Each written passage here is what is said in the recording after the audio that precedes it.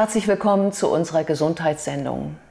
Nehmen wir mal an, Sie haben beruflich gut zu tun, Sie arbeiten auch eigentlich gern, aber es wird immer mühsamer. Stress stellt sich ein, Unruhe, Sie können nachts schlecht schlafen, vielleicht bekommen Sie auch körperliche Beschwerden. Sie gehen zu Ihrem Arzt, der findet aber eigentlich nichts, aber er rät Ihnen zu einer therapeutischen Auszeit. Und was das ist, darum geht es jetzt.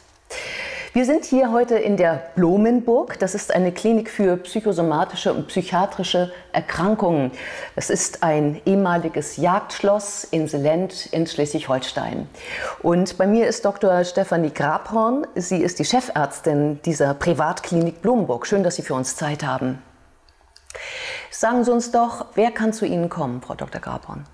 Zu uns kann eigentlich jeder Patient kommen, der merkt, dass die Psyche das Hauptproblem ist und der sagt, ich schaffe das in meinem Alltag nicht mehr, mit einer anderen therapeutischen Intervention zurechtzukommen. Also in einer ambulanten Therapie, das reicht nicht mehr aus, ich brauche jetzt Abstand und muss mich sozusagen mal von allem ähm, verabschieden.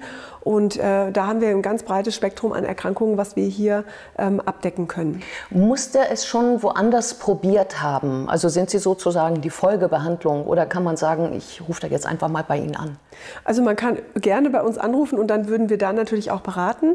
Ähm, ich bin schon der Meinung, dass man vielleicht mal zumindest mit dem Hausarzt ein Gespräch führen sollte. Aber wenn man vielleicht schon Vorerfahrungen hat und sagt, ich möchte unbedingt einfach mal wissen, was kann ich mich da auch direkt anmelden, darf er natürlich auch gerne sich bei uns direkt melden. Ja. Ähm, was für Krankheitsbilder behandeln Sie denn dann normalerweise? Also wir behandeln die sogenannten stressassoziierten Erkrankungen, das heißt sowas wie Depression, Burnout, Angsterkrankungen. Wir haben aber auch Patienten, die eine Zwangsstörung haben oder psychosomatisch erkrankt sind, das heißt die körperliche Symptome haben, die aber eigentlich aus der Psyche herrühren. Hm. Ähm, gibt es da ähm, auch etwas, wo Sie sagen, hm, da ist der Patient besser woanders aufgehoben, weil wir vielleicht hier in einer Gegend sind, die nicht so nah an der nächsten Großstadt ist? Also weniger wegen der Großstadt, sondern einfach, weil unser Rahmen natürlich bestimmte Patienten nicht schützen kann. Wir sind ja ein offenes Haus, eine offene Klinik. Das heißt, jemand, der akut selbstmordgefährdet ist, jemand, der unter einer schweren Psychose ähm, leidet und man muss ihn sozusagen beschützen und bewachen, das können wir hier nicht leisten. Aber alles, was sozusagen sozusagen das nicht erfüllt, ähm, da können wir helfen. Aha. Ähm, ein ehemaliges Jagdschloss. Man sieht ja auch so ein kleines bisschen das Ambiente. Mhm. Ähm, was erwartet mich hier? Erzählen Sie ein bisschen von diesem Schloss. Also erstmal wurde dieses wirklich sehr schöne Schloss für viel, viel Geld renoviert und in einem, sagen wir mal, die alten Strukturen wieder hervorgeholt. Zusammen mit einem sehr modernen Teil wurde das kombiniert. Das heißt, wir haben ein wunderschönes Ambiente ähm, mit aber einem sehr modernen Teil, der ganz moderne Zimmer hat und das alles auf Fünf-Sterne-Niveau. Das heißt, wir äh, sind sozusagen ein Fünf-Sterne-Hotel von der Ausstattung her mit ähm, dem Fünf-Sterne-Medizin-Aspekt da drin. Mhm. Wie viel Zimmer? Wir haben für 69 äh, Patienten Platz. Wir haben natürlich aber auch viele Therapieräume. Wir haben einen tollen Wellnessbereich. Äh, wir haben ein weitläufiges Gelände, auf dem man äh, Volleyball spielen kann, Bogenschießen machen kann. Also wir sind wirklich toll ausgestattet, schon allein durch diese Umgebung auch. Mhm. Und äh, zu dem Spa gehört auch ein Schwimmbad, habe ich ja, gesehen. Ja, wir haben ein sehr genau. schönes, großes, frisch renoviertes Schwimmbad sozusagen, ganz neu alles und auch wunderschöne Saunabereiche, Wellness- und Massage-, Physiotherapiebereiche mhm. haben wir auch. Ähm, wenn wir über den medizinisch-therapeutischen Part sprechen, ähm, wie viele Ärzte erwarten mich oder was für Disziplinen sind das? Was für Pfleger, was für Therapeuten? Mhm. Also das mischt sich ja aus Ärzten und Psychologen. Wir haben acht Ärzte und Psychologen. Das heißt, wir haben äh, verschiedene Therapierichtungen auch, die wir da anbieten, aus verschiedenen Schulen. Wir haben auch Therapeuten, die nonverbale Therapien anbieten. Das heißt, wo es nicht um Gespräche geht, sondern um Kunsttherapie, Musiktherapie, Sport, äh, das kann man ja auch therapeutisch einsetzen, die Bewegung. Also ein ziemlich breit aufgestelltes und recht großes Team. Ja. Ähm, nehmen wir mal an, es ginge um Depressionen. Mhm. Also nehmen wir mal an, ich hätte Depressionen und ich hätte in dem Zusammenhang auch mit Angst zu tun und ich käme zu Ihnen. Wie würde das jetzt für mich ablaufen? Also wir würden zunächst mal eine körperliche Untersuchung machen, das gehört dazu, da gehört ein EKG und Labor dazu. Dann würden wir eine Anamnese machen, das heißt, wir gucken mal, wie ist ihr, Ihre Vorgeschichte, was haben Sie vielleicht schon in Ihrer Vorgeschichte auch für Probleme gehabt, haben Sie auch schon mal Therapien gemacht oder nicht. Und dann würden wir einen individuellen Behandlungsplan erstellen. Das heißt, wir gucken auch, wie viel Zeit geben Sie sich, das hat ja auch immer damit zu tun, hat jemand viel Zeit und sagt, ich bleibe jetzt hier mal für vier oder sechs Wochen oder sagt er, ich möchte nach einer Woche schon wieder fit sein. Da würden wir dann gucken, dass wir das Behandlungskonzept entsprechend anpassen. Und da würde man die Therapie, die sozusagen zu ihrer Erkrankung passt, aussuchen. Gemeinsam mit ihnen das auch absprechen natürlich und dann einen, einen Therapieplan erstellen. Mhm. Ähm also wir sprechen dann erst einmal miteinander, dann dieser Therapieplan, aber der besteht ja dann sicherlich aus verschiedenen Teilen. Sie haben ja schon gesagt, äh, da gibt es einen Bereich Psychotherapie. Mhm. gibt es da bestimmte Schulen, nach denen Sie arbeiten, äh, die ich auch als Laie unterscheiden kann? Also man unterscheidet ja so grob zwischen der tiefen psychologischen Psychotherapie und der Verhaltenstherapie. Und wir haben aber hier im Haus sowohl als auch. Das heißt, wir haben Leute, die sind ausgebildet in dem einen Bereich und auch in dem anderen. Das bedeutet, wir können es uns aussuchen und können gucken, was ist für den Patienten jetzt am geeignetsten.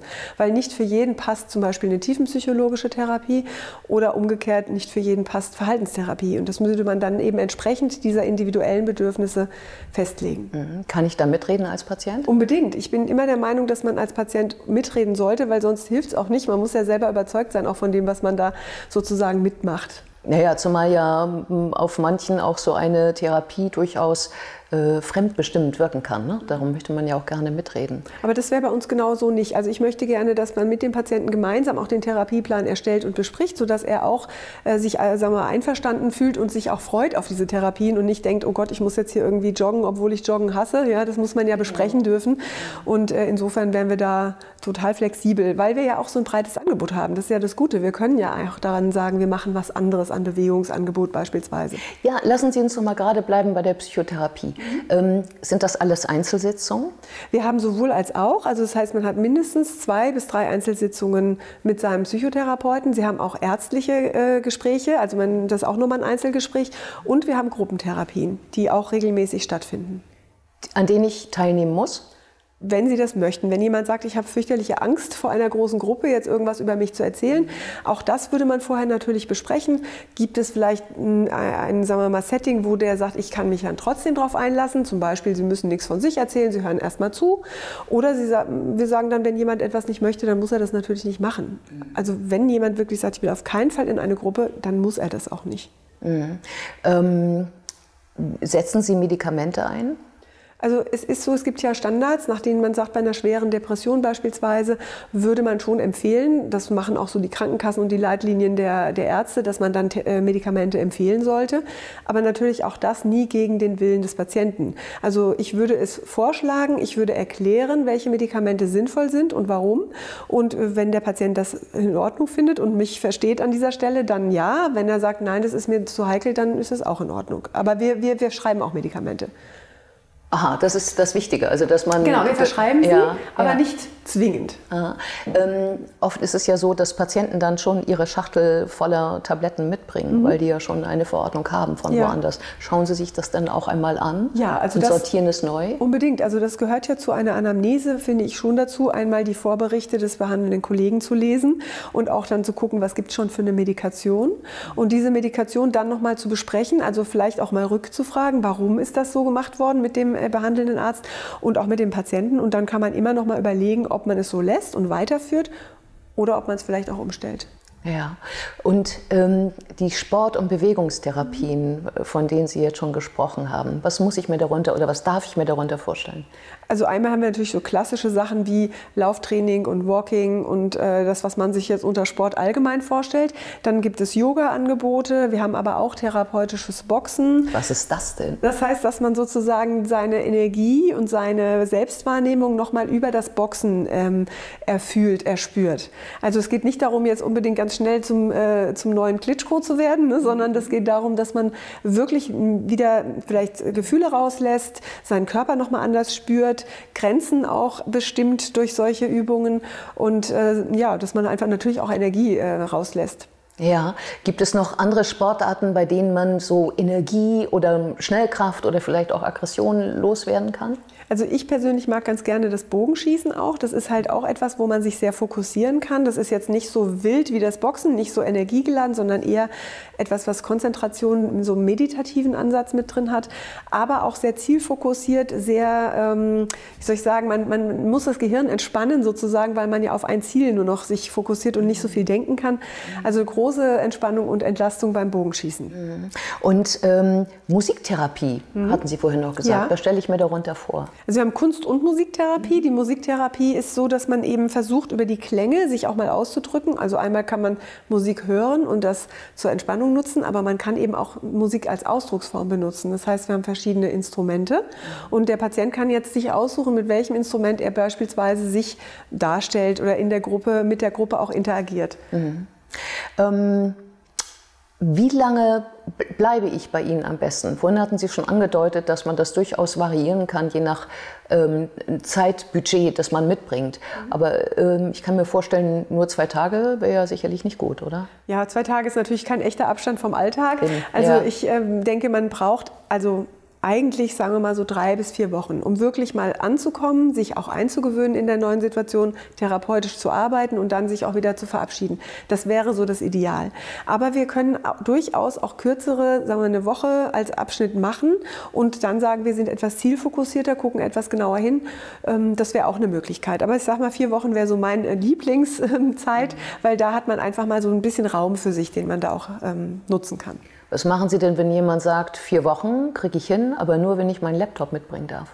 Ja, das kann man machen, aber dann müsste man das natürlich im therapeutischen Rahmen auch mal besprechen, wenn jemand nur noch an seinem Laptop hängt, ob er denn, wo, wo das Problem ist, dass er nicht abschalten kann. Er bringt ja sozusagen vielleicht, vielleicht sein Problem auch mit und an dem kann man ja dann arbeiten vor Ort. Also wir zwingen jetzt niemanden hier in Klausur zu gehen oder äh, in die, in die Schweigeminuten äh, oder sowas, sondern er darf natürlich seinen Alltag bis zu einem gewissen Grad mitbringen. Ja.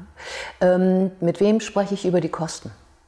Ähm, da würde ich empfehlen, die privaten Kassen einfach anzurufen, die eigene, die eigene private Kasse und sich beraten zu lassen. Das ist in der Regel Alltag für die.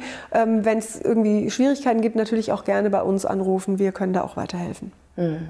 Ähm, ich habe gelesen bei Ihnen, dass wenn ich am Ende nach drei oder vier Wochen oder einer kürzeren Zeit vielleicht auch die Blumenburg wieder verlasse, dass es so ein digitales Nachsorgeprogramm gibt. Mhm. Könnten Sie uns darüber was sagen? Ja, das nennt sich Mind District. Das ist also ein Programm, was wir hier auch schon in der Blumenburg nutzen, wenn wir Therapie machen. Das heißt, wir können damit so Tools erstellen, dass man auf seinem iPad, auf seinem Laptop, auf seinem Handy zum Beispiel Therapiepläne, Tagebücher, Selbsteinschätzungsbögen, auch Übungen herunterladen kann und die mit hier im therapeutischen Setting nutzt. Aber man kann das dann eben auch nach dem Aufenthalt, wenn man also auch rausgeht aus der Blumenburg, wieder gesund ist, noch für den Alltag weiter benutzen. Das heißt, Sie können mit den Tools, die man hier erarbeitet hat, noch danach weiter etwas tun. Ähm, halten mich diese Tools dann ähm, in Verbindung mit der Blumenburg? Also dass man, die, dass man da Ergebnisse hier noch einmal einreichen muss oder darüber noch mal über Ergebnisse spricht? Also das könnte man machen, ist aber nicht zwingend der Fall. Man kann es einfach weiter benutzen, weil man sagt, es hat für mich sich bewährt, jeden Tag zu gucken, dass ich bestimmte Selbstfürsorge betreibe und das mache ich mit diesem Tool. Dann kann man das weiterführen, ohne dass man jetzt mit uns immer in Kontakt bleiben muss. Mhm. Vielen Dank für das spannende Gespräch. Und wir sehen uns wieder auf Facebook und auf YouTube. Werden Sie gesund.